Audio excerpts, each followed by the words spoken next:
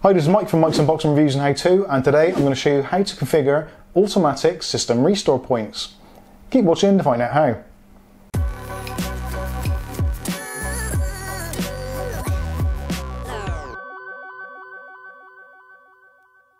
Hi, welcome back. On this video today, we're going to be talking about Windows System Restore Points, which is probably one of the most boring things you'd ever want to talk about, but it could actually save your bacon if your system goes wrong and you need to recover it from a backup. So recently we've been talking about things like malware, system hacks, password resets, all those kinds of things. Now, all those things are well and good and can get you out of trouble, but if you've got your system running just as you like it, and for some reason there's a Windows update which completely destroys it, or there's a piece of software which causes problems, you really, really need to be able to do a system rollback to get yourself back up and running as quickly as possible.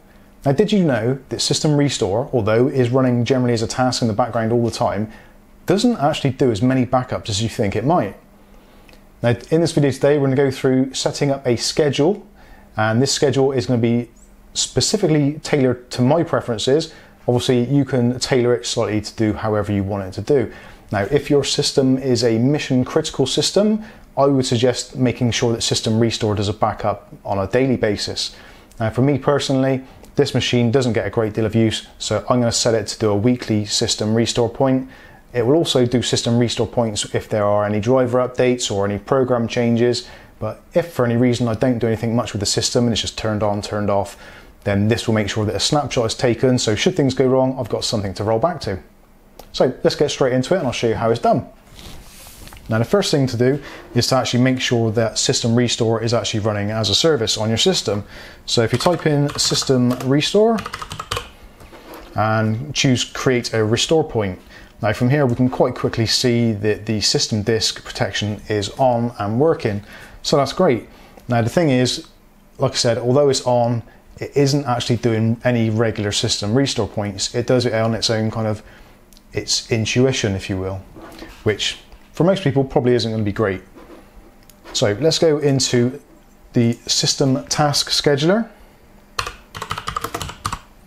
Again, type task scheduler into the Windows search bar and the program will come up.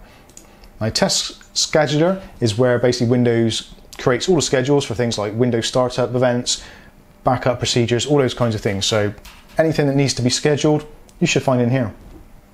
So what we want to do first of all is we want to find the system restore scheduler. So if we go into Microsoft, and then into Windows, and scroll down until we find system restore. And there we go. So at the moment we've got it set up so that it's running at roughly 7.30 every Monday of every week starting today. Now that is because I've already set one of these up and I thought it'd be a good idea actually to make a video on it to show you uh, why I've done it and how it works. So if we go into the trigger, if you double click on it, if you've already got one there, just double click on it and you can edit it.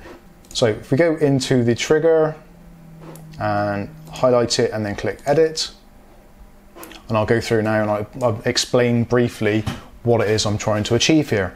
Now, for most of us who have Windows, you may or may not be aware that Microsoft generally likes to do updates on the second Tuesday of every month. They call it Update Tuesday. Now, for me, these are the most likely times where Windows is going to go wrong, either that day or the day after.